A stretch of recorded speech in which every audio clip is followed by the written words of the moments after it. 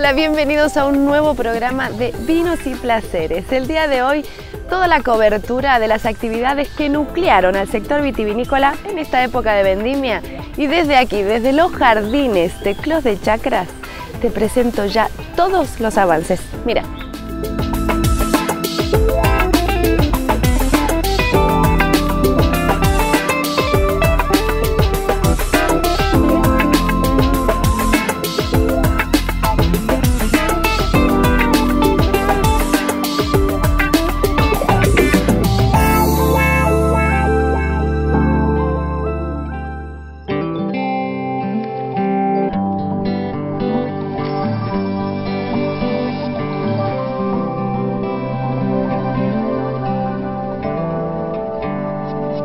Bodega Estancia Mendoza.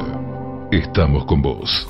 En el marco de la Fiesta Nacional de la Vendimia se desarrolló el desayuno de trabajo, donde la Corporación Vitivinícola Argentina presentó a autoridades y empresarios los avances del Plan Estratégico Vitivinícola 2020.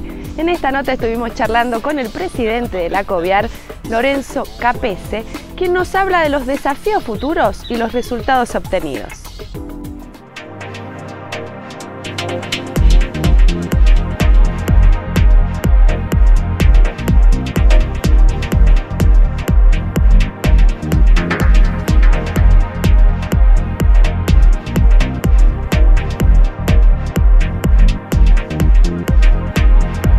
Sin lugar a duda ha sido un momento muy muy trascendente para la Corporación Vitivinícola. Eh, realmente creo que estamos en una situación de mayor compromiso. Eh, somos gente de trabajo y lo que nos gusta hacer es trabajar. A partir de la convocatoria que hemos tenido de nuestra propia gente, que es la más importante en la industria, el acompañamiento a nivel nacional y provincial eh, nos crea unas obligaciones mucho más grandes, eh, mucho más, eh, diríamos, posibles de, resultados que la industria necesita. Nosotros lo que siempre tratamos de hacer en esto es explicar que lo que venimos haciendo, que es cumplir con el, con el plan estratégico al 2020, también nos obligan a decir lo que de alguna forma necesitamos para que esas metas que nos trazamos en el plan sean eh, lograr, que lo logremos eh, alcanzar en el tiempo adecuado. La vitivinicultura argentina se organizó conciliando y encauzando los distintos eslabones de la cadena productiva, desde la producción de las fincas, pasando por la elaboración de los vinos, su posterior fraccionamiento y finalmente la comercialización hasta llegar al consumidor. Desde esta cadena se inicia un plan estratégico que hoy asiste a gran cantidad de pequeños productores y bodegas.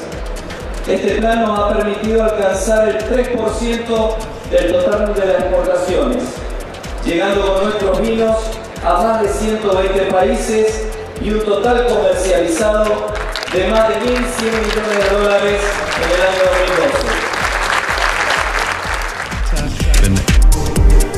Y lo que venimos haciendo, tenemos resultados, evidentemente 1.150 millones de dólares no se exportan porque sí. Evidentemente un crecimiento de más del 2,8% no es casual, pero todo esto no es suficiente. Y esa es ¿viste, la sensación que tenés que tenés que equilibrarte y la ansiedad te mata y tenés que buscar equilibrio eh, diciendo que bueno, son metas que realmente importantes para la industria, pero tenemos que ir por más y podemos ir por más, ¿me entiendes? O sea, nosotros vemos que lo que hicimos eh, podía haber sido mucho mejor.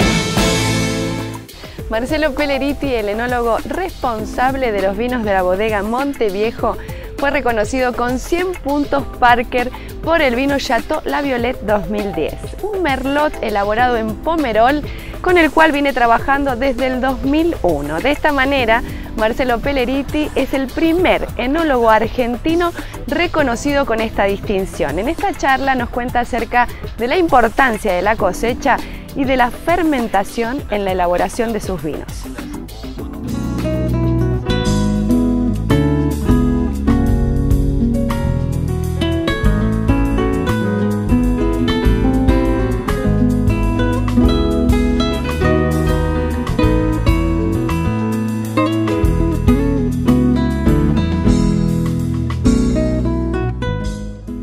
El sistema de cosecha es muy diferente quizás a lo tradicional que existe en Mendoza, porque tenés la persona, tenemos las personas que cosechan y las personas que transportan caja.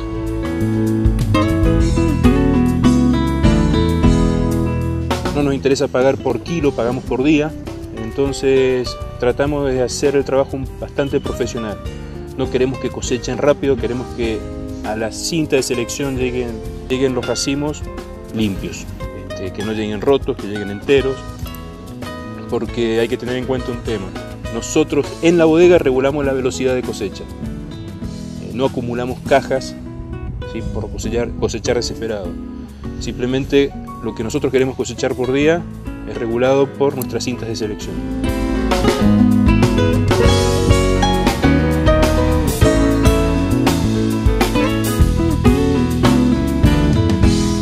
proceso de microvinificación lo comenzamos en el año 2006 en Francia, en Chateau La Violette. Chateau La Violette es un chateau situado en la zona de Pomerol, en Burdeos. Y es un chateau vecino a Le Pen, a Trotanois. Eh, son aproximadamente 3 hectáreas, cuales, las parcelas de las cuales son elaboradas eh, con desgranado a mano cosechado a, mano como se hace aquí en nuestro chateau en Francia, la cosecha es del mismo, el mismo sistema, pero una gran diferencia, es de granado a mano. Hay 60 personas, 60 personas trabajando, desgranando a mano los racimos.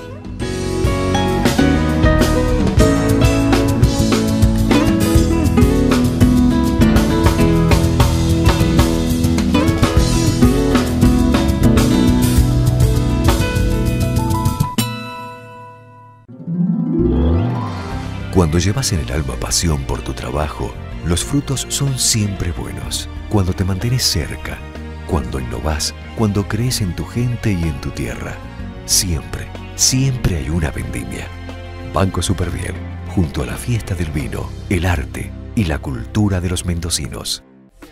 En el último bloque seguiremos charlando un poco más con Marcelo Pelleriti y ahora sí nos vamos a un corte, quédate ahí que seguimos con mucho más de vinos y placeres.